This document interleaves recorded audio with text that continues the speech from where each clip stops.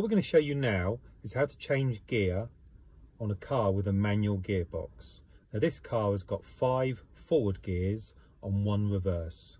Now some cars do have six forward gears and sometimes reverse is in a different direction. On this car it's down to the right hand side. Some cars it's up to the left hand side. So when you get in the car there's a couple of safety checks you need to do before you start the engine. First of all, make sure the handbrake's on and the car's secure. And then make sure that the gear stick is in neutral. So neutral is when the gear stick can wobble from side to side. And that's denoted by the straight line on the gear stick. Some cars require you to press the clutch all the way down to the floor before you start it. Sometimes an instructor will encourage you just to start the car with the clutch down. Some instructors don't. It doesn't make any difference. So we start the engine, the car will tick over and the revs will come up. Now to make the car go, you need to be in gear and we'd normally be in first gear to get the car going. The same as you would do with a push bike. You wouldn't ride a bike from standstill in 10th gear, you start off in first gear. Then as you slowly start to go a little bit faster, you get up into second, up into third, up into fourth. Now with your gears, you always go through your gears one, two, three, four, five. But when you're slowing down, you can block change. So you can go from fifth into third, you can go from third into first, you can go from fourth into second exactly the same as you would on a push bike. You wouldn't be on a push bike in 10th gear, then as you slow down, go into 9th, then slow down a bit more, go into 8th, then into 7th. You would block change, so you can go from 10th, maybe into 5th as you're slowing down.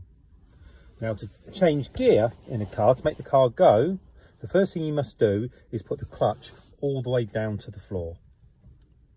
You then select first gear, so you touch the gear stick, your hand is what's called palming away. So your thumb is pointing down and your left little finger is pointing up. You push it over to the left hand side and then you push it up. Now this point here, you keep your foot all the way down on the clutch. If you take your foot off the clutch at this point, the car will stall and jump forward. You then need to set the gas, so you press the gas pedal on the right hand side so that the revs on the rev counter roughly go to about number two. So there's just a nice steady hum. At this point here, you don't take your foot off the clutch, you slowly lift it up to the bite. So as you slowly lift it up, you will feel the car just lift a little bit. If you feel the car's lifted a bit too much, just press it down a little bit.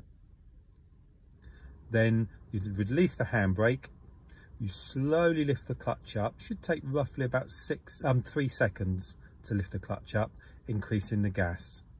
But once you start to go that little bit faster, the revs on the rev counter will slowly start to go up to number two. The engine note will start to start to get a little bit louder. And on some cars, on the dashboard, it will tell you that what either what gear you should be in or that you should be changing gear. Now to change the gear, the clutch goes, you come off the gas, clutch goes all the way down to the four, You touch the gear stick with your left hand and you push it over to left, pull it all the way down. You can Take your hand back off the gear stick back onto the steering wheel. The clutch comes up, should take roughly about two seconds to lift the clutch up and then you go back onto the gas. And same again, the revs on the dashboard will slowly start to increase as you start to go faster. And it gets to a certain point where on the dashboard, it might tell you to change gear. The engine note will start to be a little bit louder. And at this point here, you need to change it into third gear.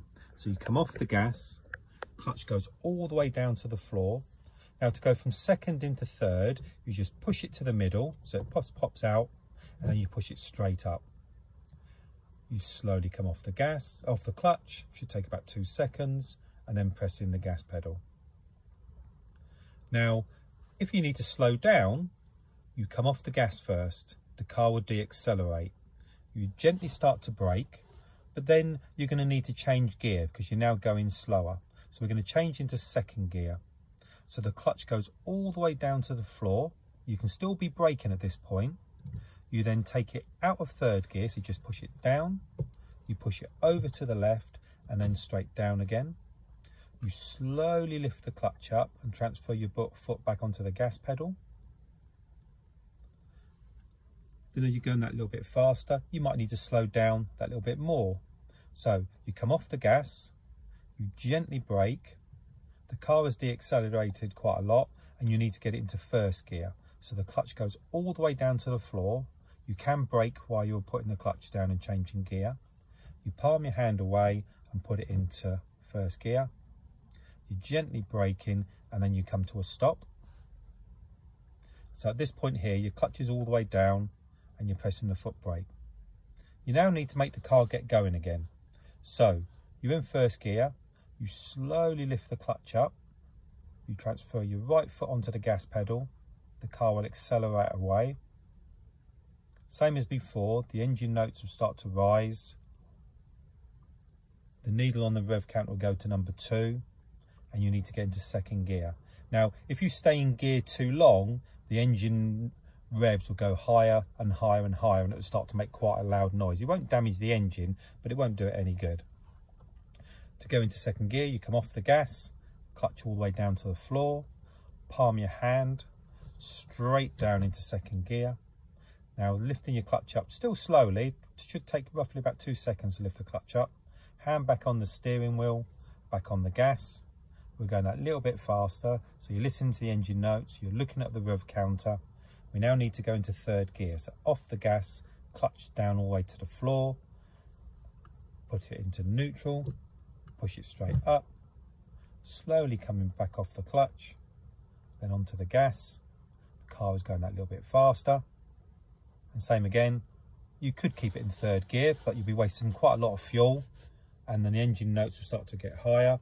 But when the needle roughly gets to about number two, we need to change up into fourth. So to change into fourth, you come off the gas, clutch goes all the way down to the floor, straight down into fourth gear, clutch comes up, should take about two seconds, then back on the gas. Now, it should roughly take you about two seconds to lift the clutch up. If it takes any longer, then the car will slowly start to deaccelerate. If you lift it up too quick, the car will jump forward. After quite a bit of time of practicing this, you don't even think about it, you just naturally just do it. Now the car's going, probably doing about sort of 60 mile an hour at this point. But to keep the revs down and to save fuel, you need to get into fifth gear. So to get into fifth, you come off the gas, clutch goes all the way down to the floor. Now the thing to take into consideration now, you're doing about 60 mile an hour, so the car is going quite fast. So don't rush to change gear, because what happens sometimes is that you rush to take your left hand off the steering wheel, and as you take your left hand off the steering wheel, the right hand sometimes follows the left hand and the car starts to wander. So give it a couple of seconds for your right hand to steer the car before you put your hand onto the gear stick. Then to put it into fifth, you just push it out of fourth, push it to the right, and then straight up. Then you slowly lifting the clutch up, back onto the gas. Now, fifth gear is probably quite the awkward one because you're going that little bit faster and sometimes it doesn't fully go in. If it doesn't, then just put it back into fourth. And then when you've settled yourself down, give it another go. So at this point here, if you're going to slow down, you've got various options. You can either go from fifth into fourth, but more often than not, if you're approaching like a roundabout or set of traffic lights, rather than having to go um, into fourth gear, then into third, you can block change. So you can go from fifth into third. So you come off the gas, clutch all the way down, gently braking, clutch all the way down to the floor. You pop it out of fifth and then push it straight up into third. Slowly coming off your clutch onto the gas. Now remembering if you're slowing down using the foot brake, you can still use the foot brake while changing gear. If you come off the foot brake while you put the clutch down, the car will start to gain a little bit of uh, acceleration. So always gently braking while you're putting the clutch down. So we're slowing down a little bit more now.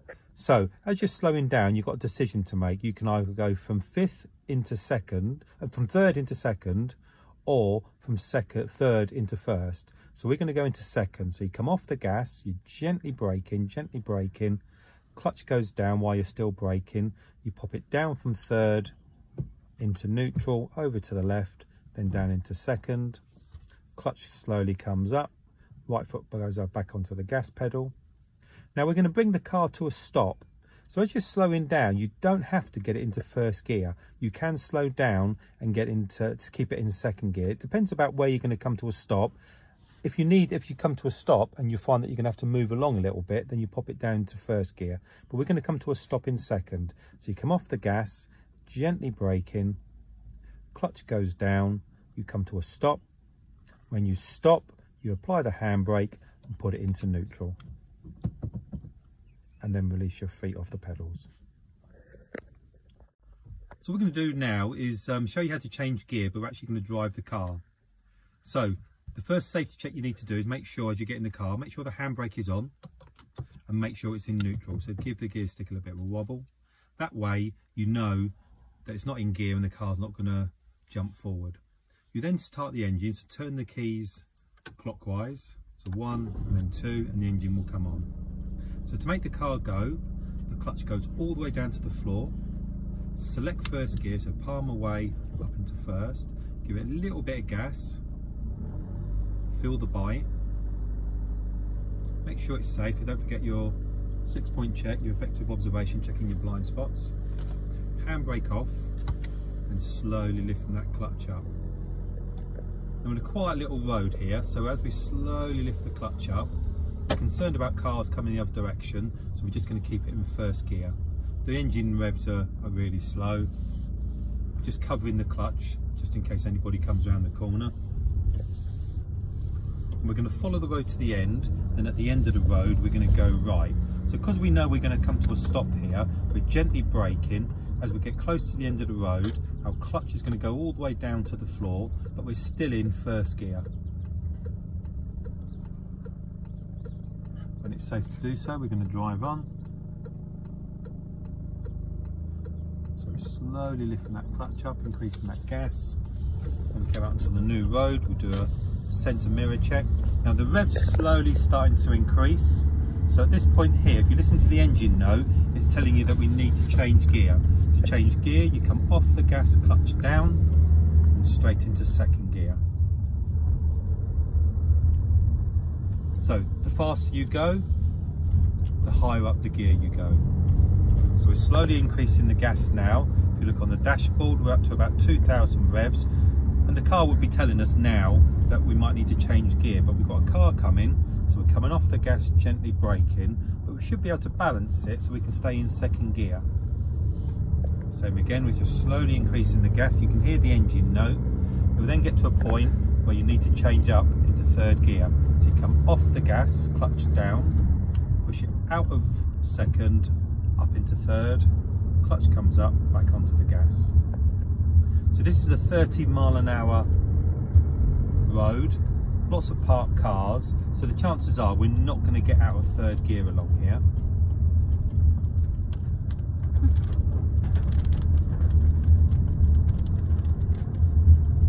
So as we're going along, we've got a vehicle in front of us, so we're just coming off the gas, slowing the car down. But as we slow the car down, if we stayed in third gear, the car would start to stall. So there, as we gently brake, the clutch went down and we went from third into second. The engine notes are getting higher again, so then we've gone into third gear. So at the end of the road, we're going to go left. Now this is a closed junction. We can't see anything, so as we approach with centre mirror, left door mirror signal, off the gas, gently braking, and because we can't see anything, we might have to slow down and come to a stop here. Gone into second gear,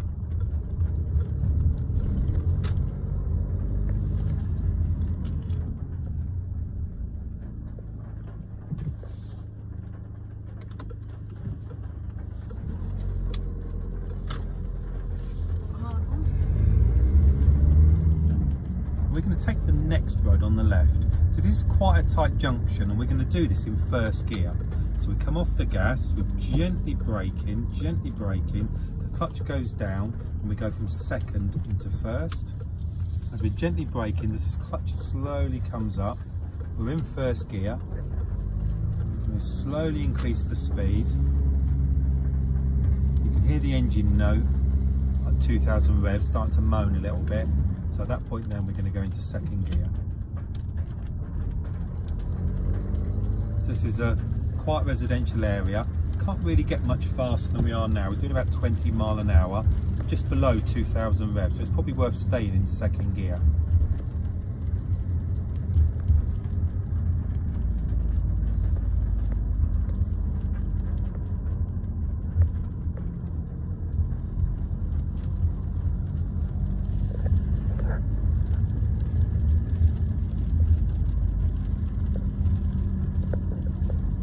Take the next road on the right.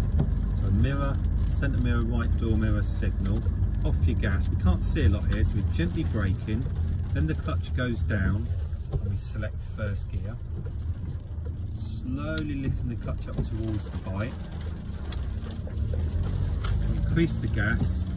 At the end of the road, we're going to turn right. So it's not worth getting to second gear along here because the road's too short. As you gently brake in, we come to a stop, the clutch goes down. We have a good look in both directions. At this point here, we come off the foot brake, pressing the gas as the clutch slowly comes up to the bite. Listening to the engine note and looking at the revs, off the gas clutch down into second, clutch up, back on the gas. And you can control your speed as you're going down here if you can't see a lot. So if there's a vehicle coming, you check your centre mirror off your gas, gently braking.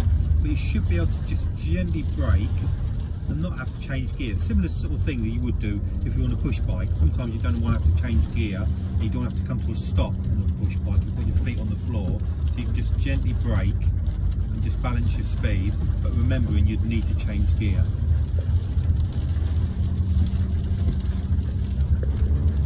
So the engine notes are increasing, so we're going to go up into third gear. But in the distance, we've got a bend coming up.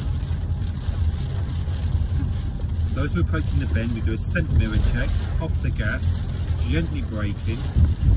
Because we're going quite slow, the clutch goes down, we drop it down to second gear, and the clutch slowly comes up.